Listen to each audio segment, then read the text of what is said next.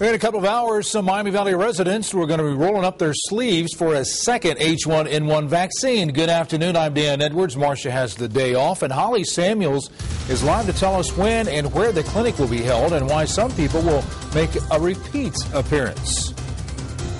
Well, Dan, this afternoon's clinic was set up to revaccinate some who were given shots that were not potent enough. Health officials say they found some frozen vials of vaccine during the clinic held December 17th at the Showcase Cinema at Crosspoint Center in Centerville. And once the vaccine is frozen, it loses potency. So officials say anyone who got the vaccine before 5:30 that day, when they discovered the problem, needs to be revaccinated. Now they'll get that chance this afternoon.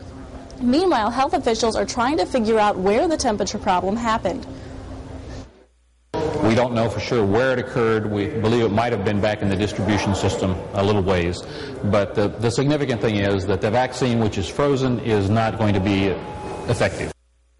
Well, you can get vaccinated from 2 to 6 tonight, again, at the Showcase Cinema at Crosspoint Center. Now, that clinic is also open to the general public. Holly Samuels, 2 News on your side.